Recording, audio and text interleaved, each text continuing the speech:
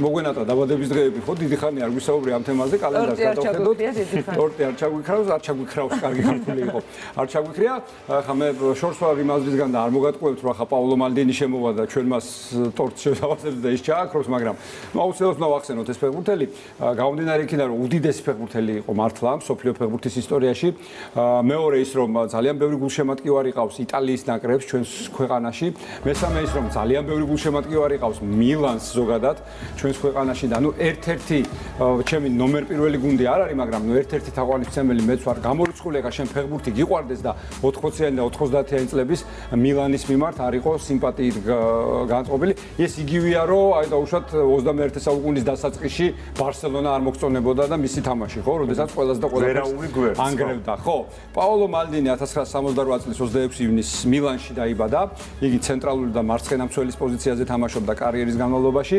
რასაც მე ძალიან ვაფასებ ფეხბურთელში მთელი თავის კარიერა ერთ კლუბში გაატარა, ეს ერთგული იყო თავისი გუნდის, თავისი ქალაქის, მილანის. ნუ ერთ-ერთია ეს თორე ხა მე ძალიან ბევრი ფეხბურთელი მიყვარს, რომელსაც ბევრი კლუბი აქვს და მილანელებს როგორ ეყარება? ეყარებათ ახლა მალდინიანის გამო. რა თქმა უნდა, რა თქმა უნდა, არც მეტი არც ნაკლები 902 მატჩი ჩაატარა მან მილანის მაისურით, ოფიციალურ მატჩზე აქვს საუბარი.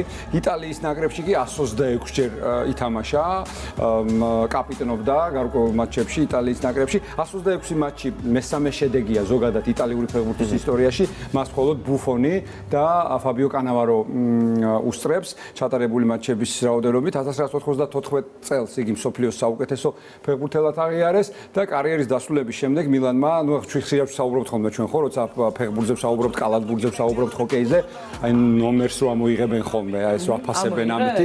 სამნომრიანი მაისური ხმარებიდან ამოიღეს რომ მილანში ვერავინ ეთამაშებს თუმცა მარიოს ბარი თუმცა მარიო ლემიე. ლემი 10 ნომერი. 66 ნუცა ვერ დაიმახსოვრე.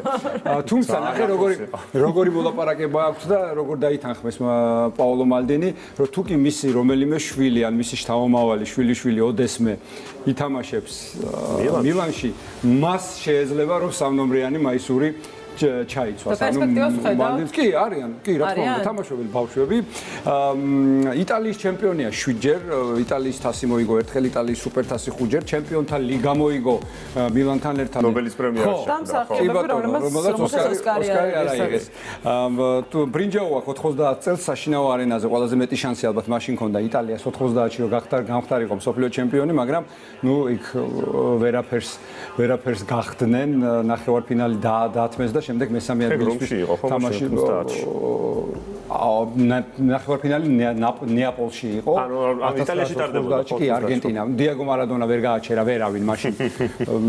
და მაშინ გავიდა ფინალში არგენტინა, თუმცა მეორე ფინალი და დათმეს გერმანიასთან. მოკლედ, ბრინჯაო აქვს სოფლიოზე ვერცხლი აქვს. სოფლიოზე ბრინჯაო აქვს ევროპაზე ვერცხლი აქვს ევროპაზე. ანუ ოქრო სანაკრებო დონეზე სამწუხაროდ ვერ მოიგო. თუმცა გეტყვით იმასაც, რომ ყველაზე სწრაფი გოლის ავტორია ჩემპიონთა ლიგის ფინალების ისტორიაში. მან ლივერპულს 52 წამზე გაუტანა გოლი და ჯერჯერობით ეს რეკორდი მოუხსნელია. მოკლედ მიულოცოთ ჩვენ იმედის დილიდან პაოლო მალდინის დაავადების დღე ძალიან ბევრი. ძალიან მაპატიებთ, მაგრამ მალდინის საიდან მახსოვს? საიდან? აა პატარა რო ვიყავ, იყო ესეთი თამაში, პატარა ესეთი ბარათებივით იყო, კარტს გავდა ბანკოს და აა ჩვენ ვეძახით პოკემონს თუ არ ვსწავლობ, ეს ამოგეტრიალებინა და იქ ფეხბურთელები ეხატა ხოლმე და მაქედან მახსოვს. მაქედან გახსოვს ხოლმე მე ტელევიზორიდან მახსოვს. ნუ შენ ნუცა შენ ძალიან პატარა იყავ ეხა მალდინი როდესაც თამაშობდა და კიდე იყო მაიკ ოუენი ამავე ბანკოს იმაში და ნუ ბექემი ცოტა შორის მე ცოტა შემოვერთდა. ევრო 2000-ზე გადასარევი. ვინ როგორ გაიცნო დიდი ფეხბურთელი ასე? ხო, ამის გამო გუნდებიც კი მახსოვს, სადაც თამაშობდა. მაიკლ ოვენი იყო ლივერპულში, ხო არ ვცდები? კი ბატონო. აი რაღაცები მახსოვს. რეალშიც იყო ერთი პერიოდი. კარგი, ოჩახ ლუცა. აი ესე რაღაცები მახსოვს. აა, შენ თუ იცი რომ ფეხბურთელს ეწერა ზურგზე 8+1. უიმე. მე ვიცი. აი, ოთარ მაიცის ვინ? 1+8. 1+8. 1+8 ეწერა. არ ვიცი. ივან სამორანოს. ახო ვერ მოითმია და მე ვიცი იქიდან წამოიძახა. იმიტომ რომ 9 ნომრიანი მაისურით თამაშობდა მთელი თავის კარიერის განმავლობაში და როდესაც ერთ-ერთ კლუბში მივიდა 9 ნომრიანი მაისური უკვე დაკავებული იყო და მას და ნუ დაიწერა 1 + 8 ამ თლიანობაში მაინც გამოვიდა. გამოვიდა საბოლოო ჯამში. აა ხო, რონალდოს ჰქონდა ეს 9 ნომრიანი მაისური. მაგაზე ქუთაისი რონალდოს და ასე რომ გამორიცხული იყო. ქუთაისის მესამე სკოლას აძერია უცებ თუ 1 + 1 უდრის 3-ს, იმიტომ რომ ქუთაისის მესამე სკოლა უდრის 2 ქუთაისის პირველ სკოლას. ანუ ესეთი რაღაც ყველა ფილოსოფია.